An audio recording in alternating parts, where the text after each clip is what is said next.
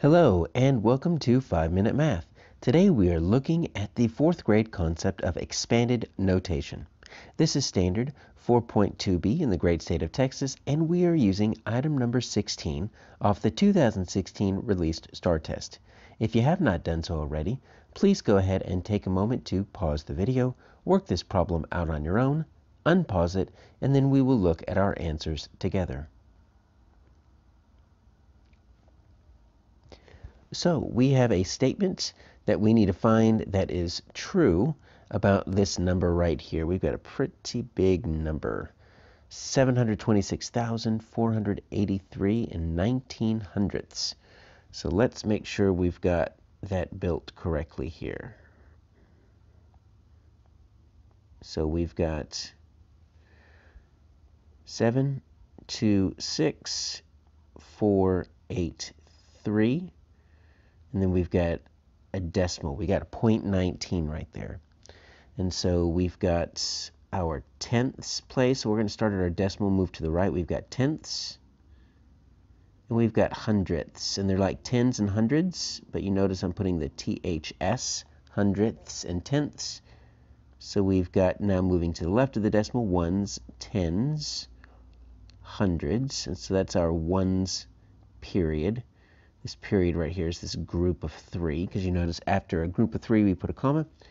And then we've got our thousands. And really, let's call it one thousands. You'll see why in just a moment. We've got ten thousands.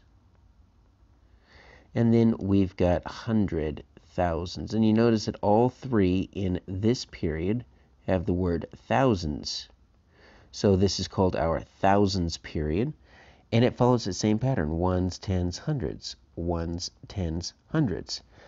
This only difference is, is in that second set, we've got 1,000, 10,000, 100,000. So it follows that pattern of ones, tens, hundreds with the period name, which is thousands.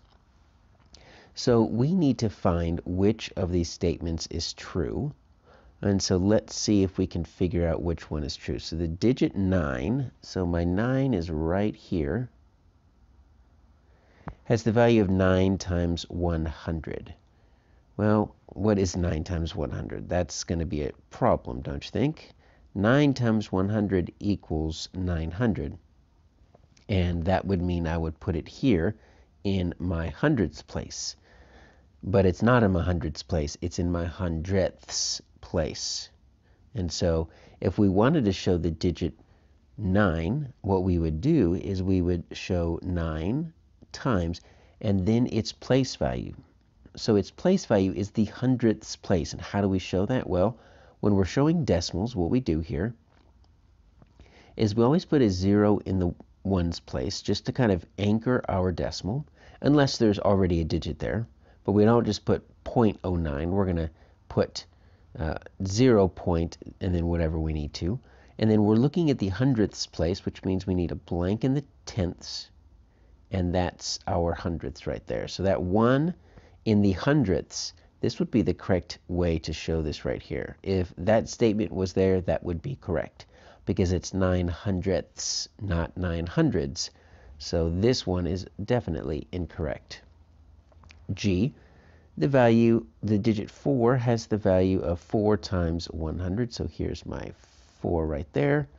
And I've got 4 times 100. That makes 400 and yeah it looks like my 4 is actually in my 100 spot. So this is looking good which means we need to show that the other two are incorrect. H the digit 8 has a value of so look at they're showing 8 tenths there. So 8 times at 0.1 that's actually 8 tenths but that's my tenths spot. My 8 is in my tens, so they kind of flipped the tens and the tenths, the hundreds and the hundredths. So really that's not going to work. If I wanted to show where the 8 was, it's just in the 10 spot. So we're going to show 8 times 10. That's how you would show that, and that's the correct answer. But they didn't write that. So J is going to be 2 is 10 thousands, and they want 2 times 10. That's 10. That's 20. I need 20,000, not 20. So my answer is G.